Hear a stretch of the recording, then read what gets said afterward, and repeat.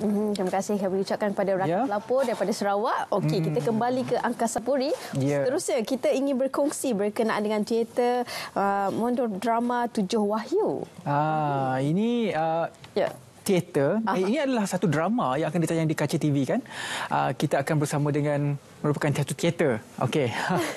yang diarahkan oleh yeah. pengarah Aha. yang juga merupakan seorang pelakon. Kita ada hari ini Raja Azri yang merupakan seorang pengarah. Uh-huh. Kita ada Ahmad Ashraf yang merupakan pelakon utama dan juga Datuk Sri Sharif Nur Muhammad Al-Adrus uh, yang merupakan penerbit kepada teater monodrama Tujuh Wayu ini. Uh-huh. Selamat datang, selamat pagi Malaysia. Alhamdulillah. Jadi Tujuh Wayu. Um, satu subjek yang menarik untuk diangkat kalau saya baca sinopsis ini. Uh, seorang pemuda yang dikenali sebagai Bam melalui tujuh peringkat kehidupan dari rahim ibu hingga membawa ke zaman remaja. Jadi um, mungkin secara sinopsis mungkin Raja Azri boleh ceritakan ya. ha, daripada mulut pengarah itu sendirilah daripada saya baca di sini kan. Okey, uh, sebenarnya teater monodrama mm-hmm. teater ini dijalankan uh, uh, secara konsep format monodrama. Mm. Maksudnya kalau semua tahu mono ni maknanya seorang lah. Hmm. Uh, seorang. Hmm. Jadi seorang tu dia akan membawa uh, pelbagai watak dalam uh, cerita ni seperti mana hmm. dalam cerita Tujuh Wahyu ni hmm. dia memang mengisahkan tentang uh, asal usul seseorang manusia itu tadi. Okay. Uh, jadi kita ambil uh, nama satu watak yang kita rujuk itu itu hmm. Bam tu hmm. daripada sebelum dia dilahirkan ke muka bumi ni. Hmm. Uh, melalui fasa uh, kanak-kanak, remaja, dewasa uh, sehinggalah dia uh, uh, mati semula. Hmm. Eh, jadi dalam cerita tujuh um, uh, monodrama ni, tujuh wahyu ni, uh, kisah ini diambil dan di, di, dicipta naskahnya uh, adalah berdasarkan uh, naskah ini kita petik uh, daripada Al-Quran dia punya uh, surah-surah dalam al-Quran okay. dan kita susun dan kita uh, terjemahkan menjadikan dia sebuah uh, naskah teater lah. Hmm. Eh? Uh, tu terjadinya teater tujuh wahyu. Hmm. Okey, jadi kesukaran kita tanya pada pelakon utama terus akan. Kesukaran untuk nak membawa watak daripada watak kecil, dewasa sebagainya. Setiap watak itu ada berbeza karakternya. Ya. Hmm. Jadi hmm. bukan satu perkara yang mudah untuk walaupun ya kita faham uh, dah pun berada dalam industri uh, berlakon ini cukup lama, tapi bagaimana nak mengekspreskan watak ini untuk hmm. berbeza-beza karakternya? Ah, okey, okay. saya sebenarnya dalam tak berlakon. Uh, untuk TV pun saya dalam tak berlakon. Uh, dan untuk teater lagi lama tiga tahun lebih hmm. tiga tahun lah tiga tahun sebelum PKP kan uh, and then ini pertama kali saya buat monodrama sebelum ni saya pernah buat monolog uh, tapi tak selama ni teater ni durasi dia hampir 1 jam 45 minit. Wow. So kesukaran dia lebih kepada macam nak maintain uh, mood untuk hmm. setiap karakter supaya kalau kita tukar karakter tu kita masuk balik karakter lagi satu dia tak berubah. Lepas tu kita nak maintain energi uh, dengan ada tariannya, ada nyanyiannya. Wow. Uh, dan memang seorang-seorang di atas pentas. So dia memang mencabar lah. Hmm. Sangat mencabar sebenarnya. Hmm. Wow. Sel- selaku penerbit, uh, um, macam mana Datuk melihat uh, perkara ini? Uh, subjek yang diangkat ni Tujuh Wahyu merupakan satu kekuatan untuk anda invest dan juga menerbitkan teater ini eh? kerana ya bercerita tentang penerbitan ini merupakan Betul. satu perkara yang melibatkan kos dan sebagainya. Kos dan sebagainya. Hmm. Baik, uh, saya ambil konsep berdakwah hmm. sebenarnya. Hmm. Kan yang di mana saya buat ada rumah adat waris keturunan Rasulullah hmm. kan jadi dalam masa yang sama kita nak mengimarahkan balik iman takwa dan amal soleh tu bagaimana seorang manusia nak beriman. Hmm. Jadi daripada situlah lakonan itulah kita mengambilkan uh, konsep dakwah dalam lakonan hmm. agar mesej itu sampai kepada seluruh umat manusia. Hmm. Ha, macam itulah. Hmm. Kan. Dan dari segi uh, yalah mungkin uh, Raja Azrul boleh kongsilah pengarah. Bukan mudah juga lah untuk kita nak di, di pentas itu hanya seorang pelakon. Yeah. Bagaimana untuk nak uh, yalah, nak nak memastikan mesej yang ingin kita sampai. sampaikan sampai kepada penonton. Okey, yang pertama paling penting saya dan penerbit kena selalu ber, ber, bermuzakarah lah orang okay. kata bermusyawarah dan uh-huh. bermuzakarah uh supaya kita uh, saya lebih lebih faham dan lebih uh, apa mengerti sebenarnya apa maksud sebenarnya naskah ini yang nak disampaikan. Kalau saya sendiri tak faham, saya susah nak beritahu pada Amma hmm, apa nak buat. Selain saya tugas saya sebagai seorang pengarah, saya selain daripada nak menyampaikan mesej atau poin penting yang ada dalam naskah itu satu perkara. Uh-huh. Yang paling penting yang kedua juga bila kita beribadah secara uh, berteater ini Uh, satu perkara yang perlu kita fikirkan adalah apakah cara yang paling mudah untuk penonton menerima dengan mudah mesej yang kita nak sampaikan. Yeah. Jadi terjadilah monodrama ini dengan konsep-konsep dia yang uh, berbagai dalam tu. Mm. Amma kena menyanyi, kena menari, dia dia dia jadi kanak-kanak, dia jadi seorang gangster. Uh, jadi orang uh, macam-macam ada dekat situ. Saya perlu meletakkan satu benda yang bervariasi dalam pementasan ni supaya orang melekat dan terus menonton. Dan dalam masa yang sama di situlah ada satu uh, uh, turning point dia.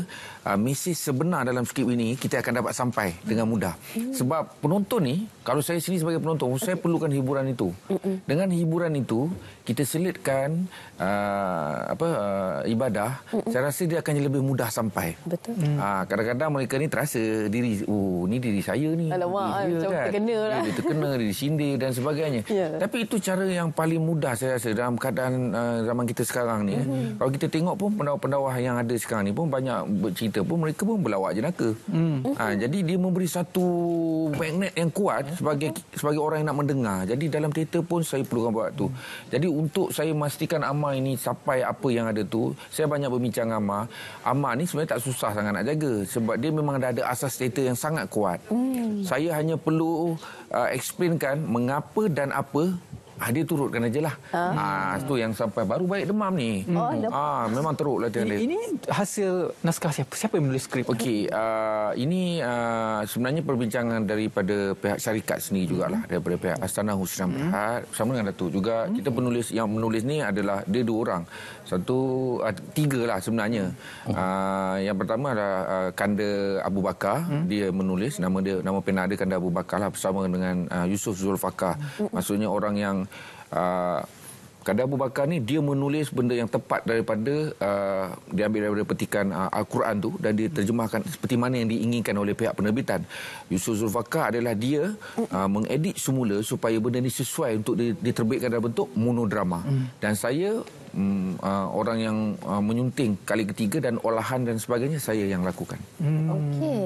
Jadi uh, siapa target uh, penonton untuk Tujuh Wahyu ni dan kenapa dia percuma? Kenapa dia percuma? Ya. Oh. wow. Dia penting nak tu. Siapa siapa nak tanya ni? Siapa okay. nak jawab ni? Saya. Ah, ya, Baik. Target penonton kami ni ya. lebih kepada generasi yang muda uh-huh. dan juga kepada seluruh lah seluruh umat manusia yang ada hari ini. Maksud dia percuma tu sebab tadi yang saya cakap ambil konsep berdakwah. Okay. Jadi berdakwah ini tak perlu ada pembayaran lah bagi saya. Uh-huh. Kerana apa ilmu yang Allah bagi tu percuma bagi kita. Jadi apa yang dibagi kita serahkan balik kepada hmm, sekalian yang tu. Hmm. Jadi kalau dapat mesej tu alhamdulillah ya rabbil alamin. Hmm. Kan? Mudah-mudahan dapat hidayah melihat tujuh wahyu tu. Ya. Itu matlamat utama ha, ya Datuk. Kalau boleh jemput sekali lah. Insya-Allah. Ha, ya. Amam membawakan watak um, BAM ada tujuh peringkat kehidupan. Hmm. Yang mana yang paling sukar Amam rasa untuk diterjemahkan hmm. dalam monodrama ini? Uh, paling suka di babak enam ketika uh, dah rahsia lah kalau cerita ah. Sebab babak enam lah. sikit lah, sikit lah. Ya. Uh, babak enam tu adalah babak mana Bam ni dia tengah mengalami katarsis. Dia nak datang balik kepada Allah. Uh, itu antara yang paling sukar lah. Uh, lepas tu untuk kalau untuk untuk babak yang yang mencabar dari segi pertukaran watak tu babak dua Uh, sebab ada bawa otak cikgu, ada remaja. kawan dia. Adakah abang pada waktu remaja pada ketika itu? Uh, dia kecil lah masa tu. Kecil lagi. Tujuh uh, tahun, lima tahun. Uh, ada cikgu dia, ada Kanak-kanak. Saya kena berlakon semua tu. Ayah dia. Wow. Ayah dia, bukan orang lain. dia macam kau lah segala-galanya. Ah, kau lah segala-galanya. Apa pun kau lah kau seorang kat atas tu. Wow. Kalau salah kau lah kena pusing Alamak. balik mana pun. Tuan Direktor jangan marah. Eh? Tapi apa okay. yang uh, menarik yeah. yang kita nak sampaikan kat sini uh-huh. sebenarnya dalam amal berdakwah dalam teater ni cerita ni sampaikan kita tetap menghargai penonton yang hadir pada hmm. pementasan tu nanti. Hmm. Tadi pihak penerbit dah beritahu masuk adalah percuma tapi yeah. yang masuk percuma tu pun kita bagi lagi dia hadiah. Hmm. Oh. Sebagai contoh dalam uh, penceritaan ini nanti hmm. uh, watak BAM dia akan uh, berada dalam alam uh, gangsterism dia. Hmm. Ya dalam masa itu dia sendiri akan menyampaikan wang ringgit pada penonton yang bertuah pada malam tu. Wow. Ha, sebagai menandakan dia based on dia punya karakter tu. Hmm. Tapi duit yang kita bagi tu duit betul. Hmm. Ada hadiah yang akan kita sampaikan pada penonton yang bertuah pada malam tu. Hmm. Ha, saya rasa satu malam tu lebih kurang kita peruntukkan lebih kurang satu ribu ringgit. Wow. Kita beri yang pada penonton yang bertuah. Dalam wow. Dia. Tapi bukan bagi saja dia masuk dalam lakonan, ha? tapi kita bagi. Is hmm. real kita bagi. Duit betul. Ah, ha, tapi Amar masih lagi dalam terikat dalam karakter, dia. Karakter lah. Ada umpama macam dia nak masuk satu tempat, dia nak bayar uh, kena bayar pada seseorang, ada bayar dengan duit yang betul dan duit tu dia ambil bawa balik. Wow. wow. Ah. Bukan minta balik lah masa tak ada. Itu special yang kita wow. program tu. Lepas lah ah. minyak dan sebagainya. Uh, lebih daripada lebih, lebih, lebih, lebih daripada lepas. Dia bergantung kepada Amal lah nak bagi ah. berapa. Ah. Secara ringkasnya berapa lama produksi ini uh, di build up daripada awal sampailah proses nanti okay. akan di, uh, di, dipentaskan. Pre-produksi kita hampir masa sebulan. Hmm? Tapi kita mulakan latihan sejak daripada awal Oktober lagi hari itu. Hmm. Uh, dan kita dah masuk ke bulan yang kedua mm-hmm. iaitu bulan November ni dan uh, insyaallah uh, penghujung bulan ini uh, daripada 30 hari bulan kita dah mula masuk ke dalam panggung lah untuk buat mm. persiapan akhir dan mm-hmm. pementasan akan dijalankan pada 3 dan 4 Disember mm. nanti. Okey, okay. jadi para penonton kalau yang nak join ni perlu dapatkan tiket atau bagaimana? Okey, uh, kita sediakan pas masuk okay. pada mereka yang uh, ingin untuk bersama-sama menonton pementasan teater ni boleh terus uh, menghubungi pihak Jabatan Kebudayaan dan Kesenian Negara Negeri Melaka hmm. untuk dapatkan info lebih lanjut yang mana pada minggu uh, akhir uh, untuk pementasan tu kaunter telah pun dibuka di pintu masuk panggung tu yang anda boleh masuk uh, ke sana uh, ke kaunter tiket tu untuk dapatkan pas masuk tu hmm. uh, sebab kita perlu berikan pas masuk tu untuk kita dapat buat kawalan untuk masuk kan kita dengar kabarnya ramai nak datang ni Aha. dan uh, okay. jadi kita perlu kawal walaupun pas masuk tu adalah percuma kan hmm. Uh, selain daripada itu bolehlah rujuk ke uh, kami punya uh, Facebook sendiri hmm. uh, Astana Hu Senam Berhad uh, untuk kita dapat info lebih lanjut tentang perkembangan atau proses latihan yang berlangsung. Hmm.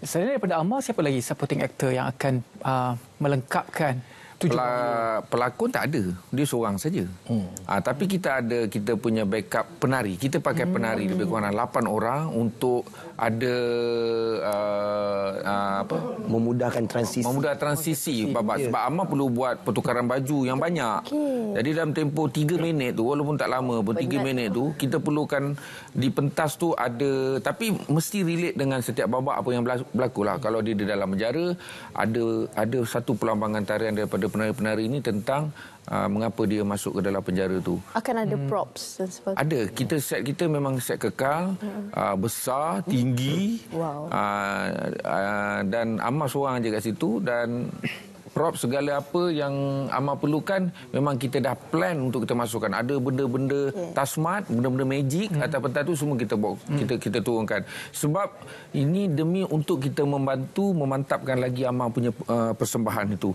supaya orang yakin bahawasanya monodrama ini dia punya kekuatan bukan hanya sekadar pada pelakon itu yeah. saja mm-hmm. tapi di segi sudut teknikal yeah. uh, presentation kita bagaimana kita nak merasa supaya bila semua ni bergabung relate mm-hmm. kita akan dapat sampai dengan tepat dalam hati kita tentang apa yang kita nak sampai dengan cerita tu maksudnya itu. watak guru tadi macam mama cakap tu huh? tidak tidak wujud cuma hanya dilontarkan melalui eh, skrip atau konten dia dia memang dalam dalam okay, dalam contoh, contohlah dalam dalam pementasan tersebut ha Hmm. Dia juga. Dia juga. Contoh kata Yalah, segala-galanya. Segala-galanya. Contoh macam sekarang saya kat sini. Oh gambar belakang ni semua Amar lah tu. Iyalah. Ya. Semua adalah Amar. Contoh sekarang saya kat sini, ha. tiba saya kena jadi pengacara kan. Ha. Saya pergi situ pula. Saya jadi jadi pengacara. Oh. Ha, macam tu lah. Oh. Dia macam bro. Oh, Banyak karakter nak kena tukar tu. Yeah. Lagi ha, sebab tu di, di, di poster kita pada tujuh watak yang berbeza. Wow. Dalam masa tiga minit Amar perlu tukar karakter yang berbeza, oh, tukar tak. baju sebagainya. Bukan. Dalam masa on the spot kena tukar karakter. On the spot. Okey. Kadang-kadang satu minit wow. dia kena bertukar jadi kanak-kanak ni balik. Alamak. Lepas tu uh, bila dia kena pukul dengan ayah dia, dia kena jadi ayah dia pula. Hmm. Uh. Ah. ah. Macam mana nak bawa emosi tu kan? Ah, kan, kan. Kadang dia jadi kucing. Profesional. Kucing. Ah, ah, kucing. kucing. Dia pun ah, ya ya. Wow. Kucing. Dia betul-betul mencabar oh, yeah. dia. Oh ya. Yeah. Ah, dia cakap jadi kucing kejap.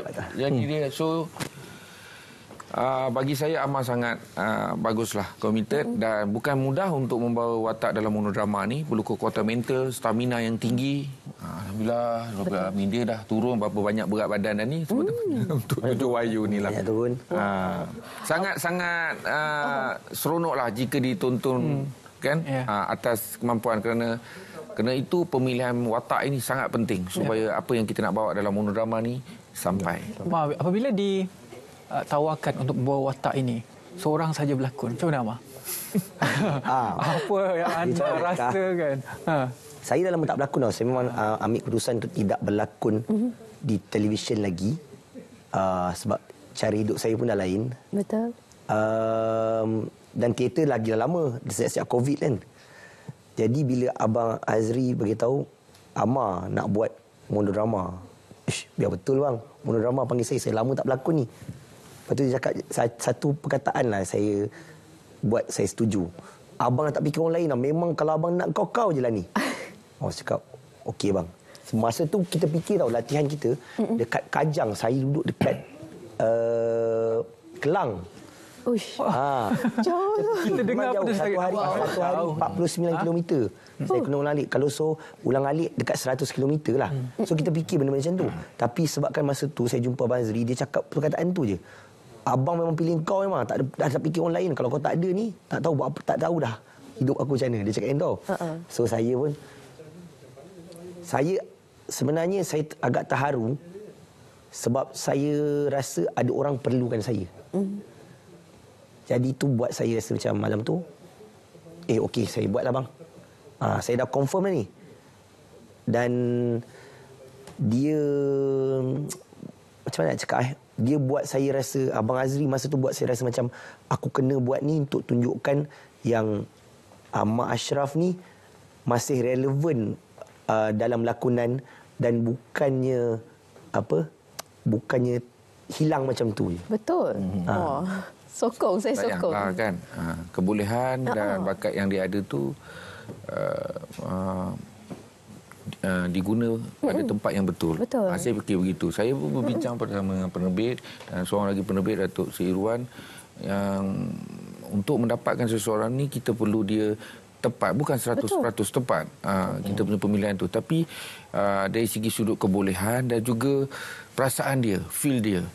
Sendiri dengan dia dia dah ada jalan uh, hidup dia yang berbeza sekarang mm. uh, dan dia sangat menepati jalan yang telah kita rancangkan dengan penerbit dan sebagainya. Jadi apa yang kita nak sampaikan itu lebih mudah bila kita dapat merasa bagaimana perubahan sebab cerita ini memang cerita-cerita tentang asal usul manusia itu sendiri mm. daripada kita dalam uh, apa uh, dalam dunia gelap kita sehinggalah kita kembali kepada yang yang lebih baik yang, ya. yang, yang lebih baik. Ya. Ha, jadi saya rasa Ahmad ada pengalamannya itu Betul. dan dia pun sendiri faham dan kita cuma pastikan saya dengan Datuk pastikan Amma duduk di track yang betul. Mm-mm. Kita guide dan disampaikan. Tentang kebolehan tu saya yakin. Betul. Cuma saya perlu guide dia.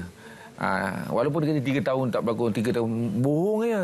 Sebab dia punya skill dia takkan hilang, takkan berat. Sebab antara seni dia takkan ke mana. Peminat amal. Ha, dia takkan ke mana. Dia takkan, tahun tu. Dia takkan ke mana. Kan? Jadi, saya, kerana itu, uh, bersyukurnya saya, sepanjang dua bulan saya berlatih dengan dia, saya sangat tenang. Uh-huh.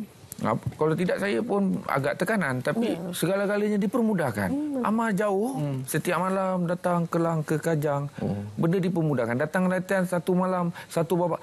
Bayangkanlah lapan muka surat dialog tu dalam masa satu hari dia selesaikan.